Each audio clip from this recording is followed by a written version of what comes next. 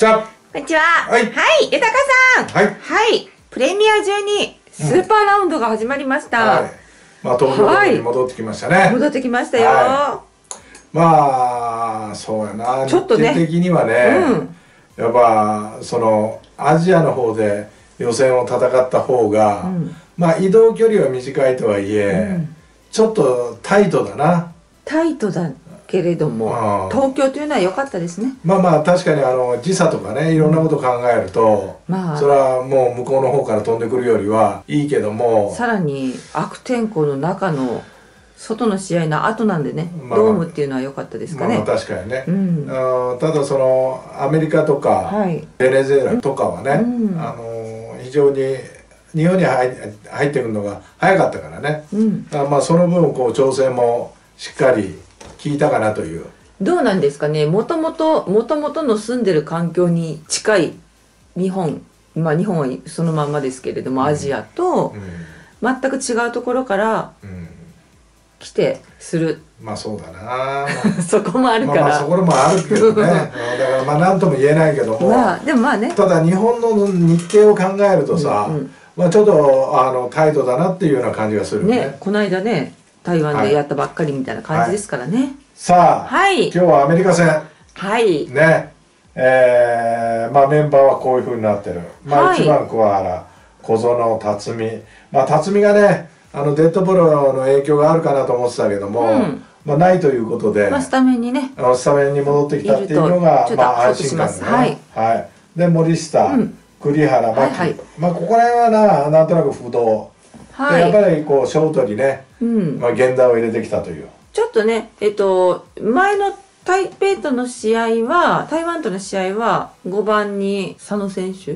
とかか。まあいろいろなことを試しながらねねうんうん。えー紅林も使ったりだとかね。まあいろいろしたけどましたが。まあ今日は源田を入れてきたという、うん。でまあ指名打者に佐野、うん。で坂キャッチャー坂倉ということで,、はい。でアメリカの特徴っていうのは、うんやっぱねホームランでこの4チームの中で、えースーパーラウンドに入ってきた4チームの中で、うん。ホームランを一番打ってんだよね、うん。まあ、それとやっぱこう走ってるということ、うん。それとね、えーメジャーリーガーはそんなにいないけども、はい。まあ経験者はいるけどもねあのーなんていうのこう若手の有望株。うん。これからメジャーで活躍するだろうというようなね、まあ、選手が多く入っていて、うんまああのーこういう大会を経験させるというね、まあそういうことなんだよね。だからまあ経験値とすれば、まあ、日本のチームの方が高いのかなっていうようなね、うんうん。少しね、えー気はするけどもやっぱパ、相手うーんどう考えるかというとやっぱパワー、うん。えーこれを抑え込んでいくしかないのと、やっぱこう塁に出た時接戦の時にいかにこう走られないかということをね、まあ気をつけるということだよね。アメリカ戦はね。ね。まあ、はい。なんかこうね 3A の選手だとは言ってもなんとなく層がつ厚いような、まあ暑いしね。気がしますね。うん。やっぱ甘いボールっていうかね、うん、えーそういうのはもう持っていく力は持ってるしそうねですよね、うん、だからまあはい。やっぱりちょっと気をつけないとねっていうような話。はい、ということで試合はこうなりました、はい。なんと9対大1差うんちょっとね思わぬ大差になりましたね、まあそうだね、うん。まああの序盤うん。ね先発高橋宏斗、はい。まあ、4回70球、うん。8奪三振。ねねえ。えなんかほとんど三振でアウトを取っているまあ、前回の登板の時よりは、もう全然良くてね、あのまっすぐの走りもまっすぐは150の中盤ぐらい投げてたし、はいあとはそのスプリットという面に関して言えば、うん。もう全然落ちてるし、はい。まあ、コントロールよく決まってたというところで、ん。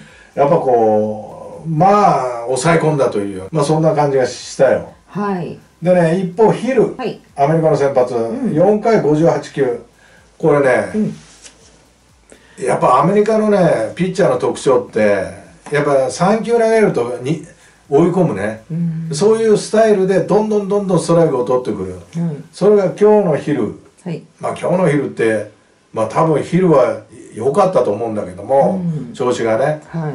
あのまっすぐの走りもコントロールも、で大きな顔カーブ。はい。変化球、ん。まあこれもいいところ決まってたよね、うん。だからあの日本のバッターはい。あんまり三振しするバッターがいないんだけども、うん5つ取られてるという4回までにね。ねだから非常にこう投手戦でえ、うん、どうあこの雰囲気だと選手戦っていうのが非常に大きいぞって思ったんだよね。そうでしたね。そしたら4回うにん。両チームともピッ4回投げ終わったところでうん。5回からピッチャーを両チームとも変えてきたんだよね。そうなんですよね。うん、これでうん、このタイミングでのすごい良かった。高橋投手を変えるっていうのはもう計画の中、まあ予つうん予定通りなんだろうね。もうもうこの流れが変わってしまうとか、うん。そういったことも考えられますが、うん。ここはやっぱり系統。まあやっぱある程度こう系統、うん。まあ隅田北山藤平横山って、うん。まあ最後の横山っていうのはこれはあのセーブシチュエーションだったらおそらく大勢がいたと思うんだけども、そうでしたよ9対1だからまあ横山に追い返したということなんだけどもね、はい。まあだけどまあ基本こういうふうな系統でいこうという。であんまり長く引っ張ることはやめようと。うん。でアメリカもなんか球数制限があるみたいでさなるほど。アメリカの方はね、はい。逆に、はい。まあ自分のチームで作ってるみたいで、はい。まあ4回までというのは規定路線だったと思うんだよね、うんうんだからこの2人のピッチャーが投げ合ってたとしたら、うん。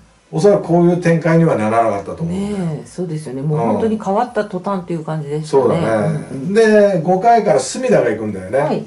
で6番のトーマスにいきなりホームラン打たれるんだよ、うん。これはスプリットだったと思うんだけども、はいうまく打たれたね。なんかこう急に急に試合が動いたというかね。そうそう。いう感じがしましたね。あだからそれだけやっぱり高橋宏斗が良かったっていうことだよね、うん。だから隅田も韓国戦投げた時に、はい。入りにポンとやられたんだよね、はい。その後リズムに乗って抑えたんだけどもやっぱ隅田を今後あと2試合うん。あるけども使う時にやっぱちょっと気をつけてほしいのは入り方だよね。うんそのイニングの頭から入るにしても、やっぱリリーフっていうのはあのー自分のところのチームであんまり経験がないから、うん。やっぱこうリズムに乗るまでに少し気をつけた方がいいなと思うね、でリズムに乗ってからはもうはい。向こうも手も足も出ないぐらいのはい。投球をしてくれるからうん。安心感あるんだけども、はい。入りだけがちょっと心配だったんだよね、うん。で入りにやっぱホームランを打たれたという。う、んまあホームランは予想外だったんだけどもね、はい。まあちょっとこれからあと2試合うん。あるけども隅田が投げる時まあちょっと入りだけは慎重にねうん。リズムができるまでこう慎重に慎重を重ねて、うん。まあ、入ってほしいなっていうふうに感じたね。だけどこの1点というのは、うん。この4回の流れから考えるとうわー嫌な1点を取られたなっていうのは感じましたよね。もうねその今までの4回までの流れということから考えたらね。まあそうだね、うん。でこの5回裏。はい。まあ源田佐野、うん。もう連打。はい。ねワンアウトから。う、ん。で坂倉もう向こうのピッチャーが取りに来たまっすぐをしっかり打ち返してタイムリーを打つという。はい。でここで投手交代するんだよねね。向こうはね。あの桑原選手のところで。はい、右ピッチャーを持ってくるんで、はい。で桑原がファーストゴロ、はい。このファーストゴロの処理がうんアメリカのファーストうまかったね、で佐野が突っ込んできたんだけども一塁線に飛んだ打球をこうスライディングキャッチして、はい。それでバックホームしたんだけどももともとなんかアメリカではセカンドの選手らしいね、なるほど。うん、やっぱりそそれだけにやっぱ守備力高かったなと思ってさうわーツーアウトになっちゃったかったわ。ツーアウト一三塁ね。はい。はい。小園。うん。まあ痛烈にファーストの横抜いて、はい。まあフェンスまで達したんだけどね。まあこれが2点タイムリーになったという。はまあこれでなんかこうやっと落ち着いたかな。いうん。あねー動き出したものがちゃんと日本もついていまあってね。動き出してうん。物にできなかったら不安なんだけども、はい。ここで物にできたからね、うん。だから非常にあのああよかったなと思ってさ。はい。で6回裏はい。日本チャンス、うん。ねえー、この回の頭からもピッチャー変わってましてはい。はい、えー、とまず森下選手がファーストゴロ。で栗原選手がセンターへのヒット。うん。ワンアウト一塁。うん。でツーアウトから、うんうん。えー栗原が盗塁を仕掛けるんだよそうでねすね。やっぱりね、うん。クイックタイムが遅いね。なるほど。アメリカとか外国人のピッチャーって、はい。で栗原が走ったんだけども、はいでまあツーアウトランナーセカンドになって源田が三振と、うん。まあ点にはならなかったけども、はい。こうやってやっぱこう攻め続けるといいなっていうふうにね、うんうん。思った。はい。はい、で7回表は北山が上がり、はい。まあ、しっかり抑えてくれるという。うん。まあね先頭フォアボール出せてはい。しまったんですが、その後はね、しっかり書いていただいて。でその裏、はい。7回裏、まあ、佐野がね左ピッチャーのスライダーをもう本当に運ぶようにショートの頭の上に運んで、うん。まあ、ヒットにする。はい。でここにここでやっぱこう3対1からはい。もう1点取りに行く。はい。ダイソー磯端。出ました。ね。はい。えー、牽制をやっぱされる。うん。牽制を2度される。うん。牽制を1度される。うん。ね。磯端飛び出しと。うん。で、まあ、セカンドでアウトと。うんいうことまあ左ピッチャーで初見でうん。癖もわからないタイミングもわからない、はい。あのーまあそういうところで走れっていうのはうん。非常にやっぱ走り屋としたら難しい。難しいけど磯端に言っとくけど、はあのー勝ってる試合で、いうん。ね、負けてる試合だったらまだいいんだよ、うん。ねまあ、負けてる試合でももったいないけども勝ってる試合で飛び出してアウトになる。でランナーがなくなる結局点が入らないっていうふうになってしまったら、うん。やっぱ流れを渡してしまう時があるんだよね、だからちょっとあこういう飛び出してアウトになるっていうのはちょっと勝ってる時は特にやめてほしいな、うん。まあ普通に盗塁してのアウトではなくてってことですね。国際試合は特にね、はい。で走るタイミングとしたら、うん。やっぱアメリカっていうチームを考えたらね、はい。やっぱ3球投げて3球目にはアウトにしないと、うんもう牽制できないんだよ。はい。もうボークになっちゃうんだよね、はい。それを考えたら、うん。2度牽制したタイミングがあったんだよ。はい。向こうが、はい。そしたら、まあ、国際ルールでは回数は設けられてないけどもね。やっぱ自国の野球っていうのは身についてると思うんだよね、はい。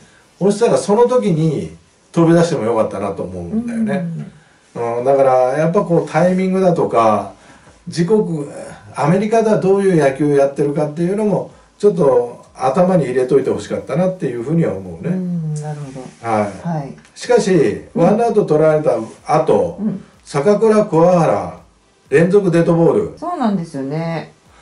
おいおいおいと。思ってましたね。はい。ほんで小園がスリーランホームラン続いて、ね。いや見事やったな、ここの時点で5打点。ああ、はい。あのーやっぱ取りに来たボール、うん。やっぱしっかり狙ってたね、はい。うん。まあスリーラン見事なスリーラン、ねで辰巳がヒット、はい。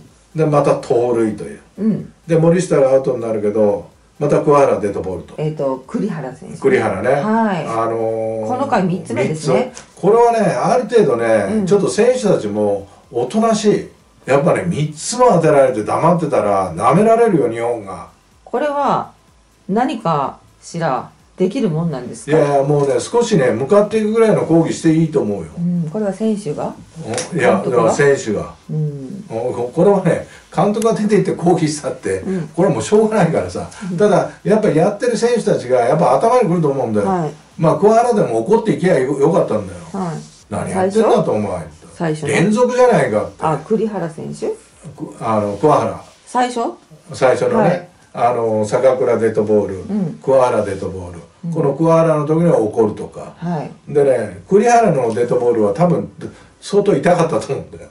肩甲骨かなんかに当たって。向かっていけ,、い、けないぐらいの感じだったと思うけど。ね。いやだけどこれはねある程度言っと言っとかないと、うん。やっぱね舐められる。うん。に日本人はおとなしいぞって当てても何にも起こんないぞと。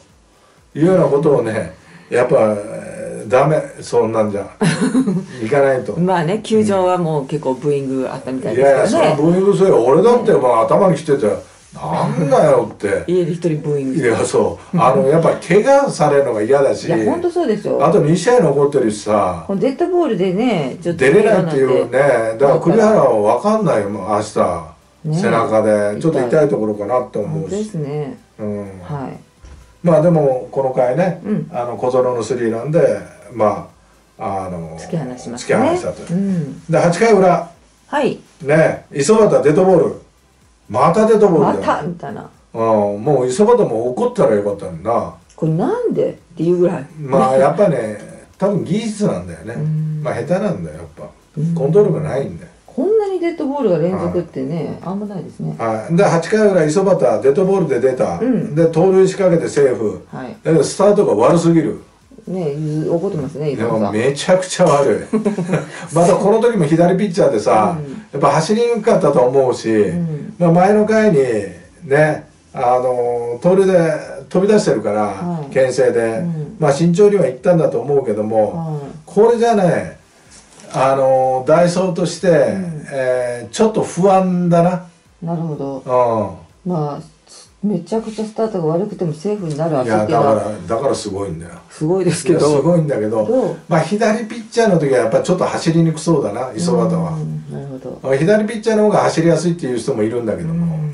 ちょっと磯端は左ピッチャーはちょっと苦手かな、そういう面では、うん。だから右の時にダイソーっていうのはまあ有効的かなっていうような感じがするよね。なるほど。ははいい、で桑原がうんその盗塁を生かしてタイムリねツーアウト三塁からはい。タイムリー。よしよしこれで安全圏かなと思ったら、はい。小園がツーラーン。また二2打席連続。素晴らしい。7打点。7打点。まあ素晴らしいなと。これはなんというね国際試合で7打点。まあそうだね。うん。うん。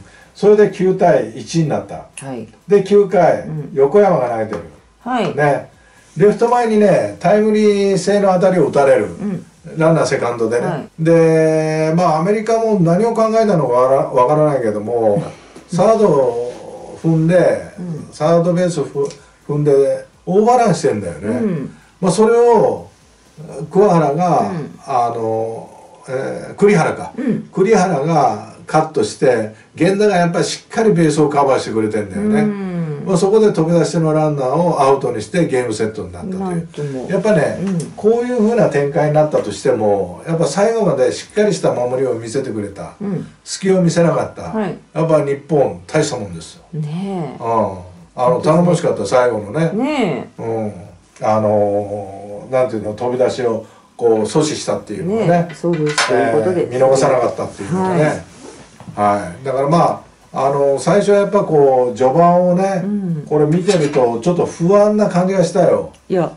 ねえ何対何になったんだろうって少しして立ってみてもあれって、うん。そうそうそう。なってたんでね。まあ、たかあのただね、うん。まあ、打てない肥料このずっと打てなかったと思うよ。ねえ。あのこのまま投げられてもね。そうですね。もね日本の大したと大したもんだなと思うところは、自軍が打てなかったら高橋宏斗がしっかり抑えるもん、うん。うんねえ。やっぱ我慢して我慢して抑えていくもん、はい。まあ、我慢するっていうかもう完全に上から押さえつけたようなピッチングはしてたけどもね、はい。いやだからまあそういう投手投手力が安定してるっていうのも、まあ日本の強みだよね、うん。うんだから非常にまあ今日はいい試合だったかなっていうふうに思うよね。ね。我慢するとこは我慢し、ん。ね、行くとこは行って、うん。ただそのまあ磯端がな。しっかり盗塁をあそこで決めれてれば、うん。飛び出しじゃなくてね、はい。あーすごすごく良かったけどもね、うん。だけどまあ8回には遅いスタートだったけども盗塁を成功させて はい。まあタイムリーで帰ってきたっていうことが、うん。まあ良かったかなという。まあ小原がね、うん。まあ生かしてくれたっていうことをその盗塁をねまあ感謝しながら、うん。あーまあ磯端にはもうワンランク上のね、まあ、走塁を身につけてほしいなっていうふうには思いました。はい、はい。ということで次につながる、ね、課題も見つかり、まあそうだね。ね、勝ったけれども、はい。うん。はい。ということで今日は、えー、とベネズエラとチャイニーズ・タイペイはベネズエラが2-0で勝ちました。はいはい。はい。なので日本とベネズエラが1勝ずつということです。うん。で明日は、えー、と日本がそのベネズエラとはいはい。対戦します、そうだね。でアメリカがチャイニーズ・タイペイとということですが、ねどうどういうベネズエラって急激になんか強くなってるようなまあまあでもやっぱりしっかりした野球やるしね、うん。破壊力という意味では、うん。やっぱアメリカの方があるかもわからないけども、うん。チームのバランスとか、はい、まあ、経験値とかいうふうに考えると、うん、まあ、ベネズエラの方があるかもわからないよね。なるほど、はい。こうアメリカチャイニーズ・タイペイベネズエラもうなんかどれもタイプの違うようなチーム、まあそうもちろんね。だから、うん。また今度はどういった対策をしていかなければいけないんでしょうか。まあそうだな。まあでも自信を持ってうん。日本の野球をやればうん。相手に合わすんではなくてね、うん。自分たちの野球を完全にこうやってやりきればうん。ねあの問題ない全然ね負ける相手では俺はないと思うし、ただ今日は小園のホームランが効果的にね出たからいいけども、なかなかやっぱ今大会はホームランが出てないという。ねあのいうところであのホームランが出たらやっぱり楽だなっていうふうに思ったよね、え本当ね。うんただ今日のバッティング内容を見てるとはい。これねうん。あの森下がちょっと落ちてるかなっていうような感じがするんだよ、うん確かに。あのまあ辰巳はねまたあの良くなってくるかなって、うん。で桑原もなんかちょっと良くなのね良くなってきてるかなっていう、今ね辰巳選手今日2安打ですし。うんまあ小園は絶好調。うん。で辰巳はちょもうちょっと上がってくるから、うん。森下と牧牧選手まあ栗原のデッドボールがうん。明日どういう影響を及ぼすか、うん。まあ、これがちょっと心配だけどあの背中の肩甲骨の方だったから、うん。あそこはちょっと痛いんだよね。ねうん。何するにもちょっとねそうそう。痛み出そうですよね。で源田佐野坂倉っていうのはこの3人はねセットでいいと思う。ん。うすごく。ただやっぱこう今まで得点源だったうん森下と牧が少し落ちてるかなっていうような感じでしたね。中央大学そうそうそうコンビ、う。んうん。なんかちょっと頑張ってこう踏ん張りどころだから、ね。あと2試合頑張ってほしいと思うけどね。ね。まあなんかのきっかけでね急にまたそこがそうだね。復調してくると。うん。いいです牧は多分そういうことが言えると思うんだよ、うん。森下は一回ハマるとちょっとハマるから、うん。うん、だからまあここら辺がちょっとまああと一踏ん張りだから森下頑張れと、ね。うん。まあここもねあのずっと4番で来てますかまあらね。そうだね、うん。はい。はい。まあ明日は明日の風が吹くということで。はい。ね。また明日まあ明日はね。19時からね。うんやっぱこう自分たちの野球をやりきるというね、うん。もうそれに徹してほしいなっていうふうに思います。はい。はい。頑張ってください。はい